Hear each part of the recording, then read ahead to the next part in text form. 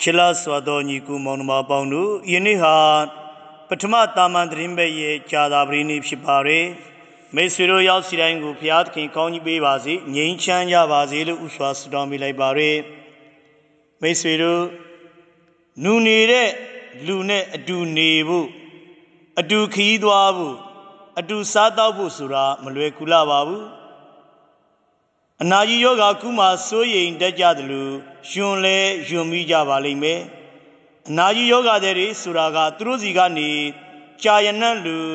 စပယ်ယနံ့လူအနံ့တသင်းသင်းလှိုင်နေကြမှာတော့မဟုတ်ပါဘူးညှိစွတ်စွတ်နဲ့အနံ့သက်တွေသာထွက်နေလေရှိတတ်ကြပါတယ်ထို့သောသောအနာကြီးယောဂတွေများရှိတဲ့ဌာနတွေကိုအဝေးကနေလှူခဲ့ဘူးသလိုအနီးကပ်ကိုယ်တိုင်ကိုကြသွားပြီးတော့လှူတာမျိုးတွေမြစ်စာတရားဟောပေးတာမျိုးတွေ ကိုရမြတ်ပေးဝေခဲ့ဘူးတာမျိုးတွေကြုံခဲ့ဘူးပါတယ်ထိုပုဂ္ဂိုလ်များကိုကိုရမြတ်ပေးဝေပြီးချိန်ဒီဖလားတော်ကိုရေစစ်တော်ရတာတကယ်ကြီးမားတဲ့စိန်ခေါ်မှုကြီးတစ်ခုလို့ကျွန်ုပ်အနေနဲ့ခံစားခဲ့ရဘူးပါတယ်ထိုလို့ရက်ကကျွန်တော်တွေအယံကိုခက်ခဲခဲ့ပါတယ်အဲ့ဒီတုန်းကကျွန်တော်ရဲ့လေမင်းမှာဆွဲထားတဲ့ပရိပရိကုံးလေးကိုလိုချင်တယ်လို့ အဲ့ဒီအနာကြီးယောဂတဲ့တူကတောင်းဆိုလာတဲ့အတွက်သူ့ကိုချွတ်ပေးခဲ့မှုပါတယ်။တော့ဘာသာရေးစာပေစာအုပ်တွေလည်းလိုချင်ပါတယ်ဆိုလို့ဒုတိယကြိမ်နဲ့သွားပြီးပို့ခဲ့မှုပါတယ်။ထိုနေရာကတော့ရင်းနေတာဖြစ်ပါတယ်။နောက်တနေရာကတော့ဒီအနာကြီးယောဂတဲ့တွေရှိတဲ့ဒီဟိုခိုက်အကြောင်းတော့ထိုဒေသမှာရှိနေတဲ့အနာကြီးယောဂတဲ့များကိုတနာမိသလိုထိုနေရာတွေမှာတာဝန်ထမ်းဆောင်ပေးနေတဲ့ယဟန်ဖုံတော်ကြီးတွေစစ်စတာတွေကျမ်းမာရေးဝန်ထမ်းတွေကို ထိုင်ပြီးကြော့ချင်ပြီးအောင်ထိလေးစားခုံယူမိပါတယ်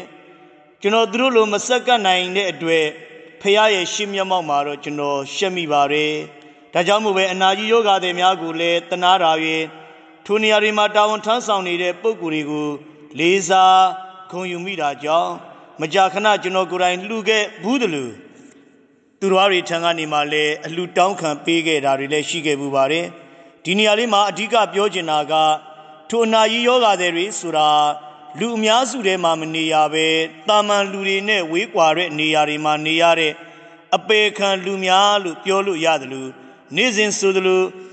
ဝေဒနာတွေလည်းခံစားနေရရှာပါတယ်မိမိတို့ရဲ့အခြားဆွေမျိုးသားချင်းတွေကိုစွန့်ပြီးတော့ဘဝကလကာချားပြီးမှနေရရှာတဲ့တနာစရာကောင်းသောအပေခံတွေပါမိတ်ဆွေတို့ ဒီနေ့ဖတ်ရှုရတဲ့ဧဝံဂေလိကျမ်းစာတော်မြတ်မှာထိုသို့သောအပေအပေခံ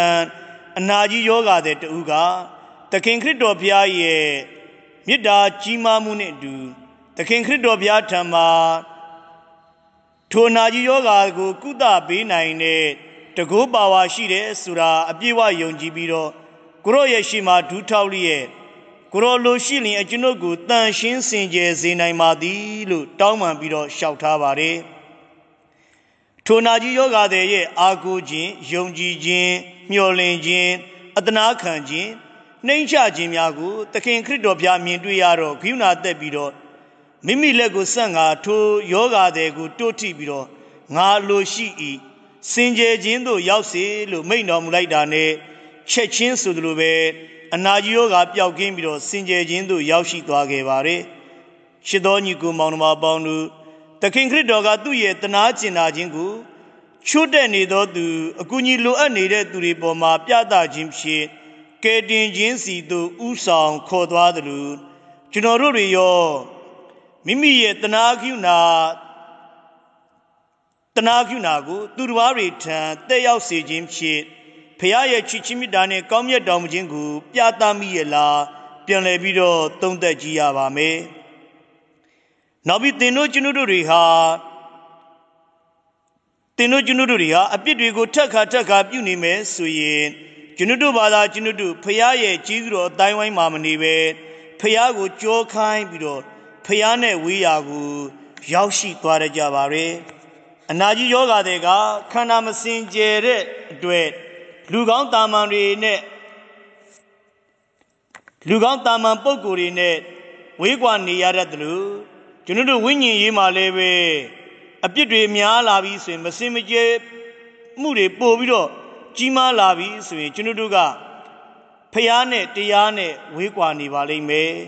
ထို့သောဝေးကွာခြင်းကနေဖျားနှင့်ပြန်လဲနီးစပ်နိုင်ရန်အတွက်မိမိကိုယ်ကိုနှိမ်ချလျက်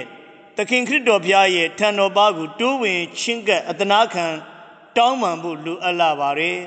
ဤသို့ပြုလုပ်ခြင်းအဖြစ်ကျွန်တို့တွေရဲ့ အနာစာပြစ်တွေကိုပြန်လဲစင်ကြယ်စေပြီးတော့ခရစ်တော်နဲ့ပုံမနီးကပ်သွားစေနိုင်တယ်ဆိုတာကိုနှလုံးသွင်းကကြိုးစားရင်လက်တွေ့ကျွန်တို့ကြင်ကြံကြိုးစားလျက်